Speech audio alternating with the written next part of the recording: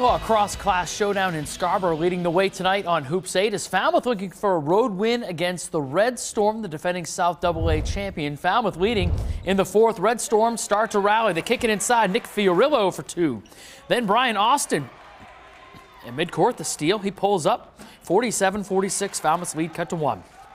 Michael Simons back on the court. Nice to see him out there. Finds Nick Hester inside. Hester, though, even better on the defensive end tonight in this one. William Gravier, the next possession, stretches the lead to five. And then Nico Petrie, the beautiful no-look feed to Brady Douglas for the lay-in. Falmouth goes on the road with a 60 to 56 win. Good matchup in York tonight. The Wildcats hosting Gray-New Gloucester in an AB game. Will McDonald, the tough fadeaway for York. The Wildcats up 15 in the third, but here comes Gray, led by Jonathan Martin. He caught fire. The three cuts the lead to five. Midway through the fourth, Martin, another three. He had 33. Patriots go up by one. York answers at the other end. Brady Cummings for three. He had 12. Wildcats by two. Then on the break, Chris Cummings to McDonald for two of his 17. 64-58, York holds off Gray. Kennebunk at Westbrook tonight, and this was all Rams in this one. Trip Bush from the wing, the take and the friendly roll. Rams up 46 to 16 in the third. Then inside the sophomore Adam Lux, he had 15, 79-42. Kennebunk comes out with a win. Freeport visiting Yarmouth tonight. Clippers get the first hoop of the game. Noah Eckersley Ray working the glass inside for Yarmouth. Freeport answers though. Shea Wagner, he's trapped, but he pivots out of it to find Toby Holt for the nice reverse. Then in transition, Holt finishes 45-41. Freeport wins a close one. Freeport's first win against Yarmouth since 2008. Playoff rematch. Last time Windham and Portland met, the Eagles sprung an upset in the playoffs. Late in the second, Pedro Fonseca inside the nice putback and one for the Bulldogs. For Windham, you can't leave Andrew Wing alone. Wing knocks down the three, but Portland had enough tonight to hold off the Eagles 59-46. Jeremiah Alado with 21 to lead the way for the Dogs. Sanford at Deering. This is a good one. Early going. Sanford leading by four. Ben Onik reverses. He had 21 and 13. He's a double-double machine. Then Empore Sohoza goes from triple team to nobody teaming him, and it's a basket and one. Sanford made a run in this one. CJ Latang to Carson Bickford and back to Latang. But Mike Randall working the glass inside. Deering had just enough to hold off Sanford 62-57. South Portland and Cheverus both looking for their first wins. Red Riots junior Ryan Bowles working from the top of the key. Crossing Cats goes in for the lay-in. Then Scott Lewis, he's got a new club in the bag. It's the deep three. Cheverus, they would pull within 12. Matt Duchesne, nice move, gets back door, but South Portland rolls in this one 63 to 45. Gorham playing its opener against Noble tonight. Nick Strout driving for the Rams, and he's going to get the nice finish. The floater goes. Later on, Rams working around. Bodie Meter from downtown drains the three. He had 11 for Gorham. Then Zach Beaumont working inside. The putback for two. 76-34 Gorham all over Noble. Class C boys, Traip Academy hosting Old Orchard tonight.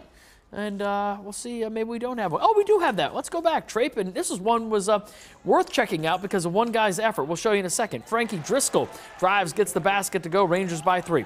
The other end, Isaac LaChance picks up the loose ball for the Seagulls, but the Seagulls had no answer for Will Stewart. Finishes with 41, 73-65 Traip. They are 2 and 0.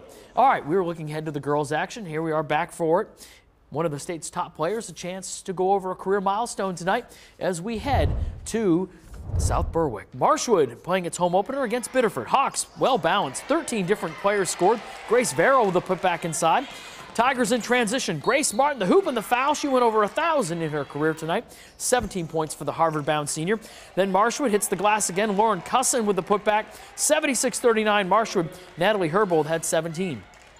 Cheverus, second straight home game to open their season, hosting South Portland. Red Riots a comfortable lead early. Stags running. Haley Jordan to Meg Kelly for the basket. The other way, Ashley Aceto, that is in her range. She knocks it down. South Portland 58-42. They're 2-0. The best seat in the house at Falmouth belonging to this little lady. Scarborough in town to face the Yachtsmen. Teamwork on display here for the Red Storm. Kayla Conley kicks it out to Isabella Dickinson for three. And then Dickinson finds Conley in the break. It was all Scarborough, 49 to 25.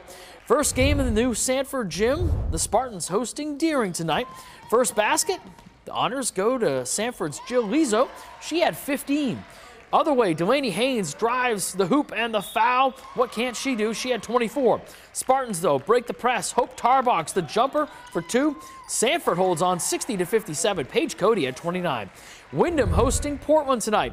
Late in the third, Eagles force the turnover and they start the break. Sarah Talon ahead to Megan Hofsis. Windham goes up 16. Bulldogs would start a comeback. Kiera Eubanks, the foul line J, but the Eagles would hang on 55 46.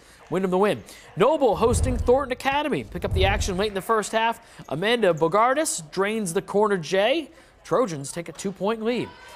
Other way, Reagan Kelly off the inbounds play. She had a game high 17 for the Knights. Trojans answer though. Mackenzie Melendez finds Penelope Georgi for three, and Thornton goes on the road for the 39 38 win.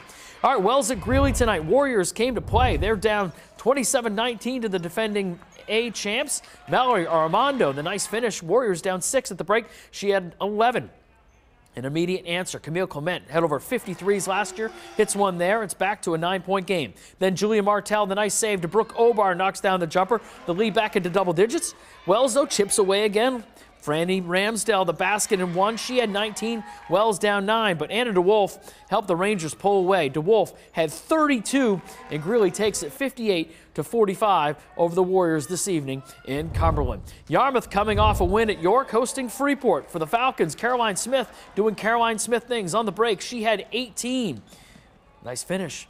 Other way, Margaret McNeil from long range. Yarmouth trailed by six at the break, but Freeport had enough down the stretch. Rachel Wall inside the basket. 39 30. Freeport moves to 2 and 0. That right there, unite on the hard court. Guys.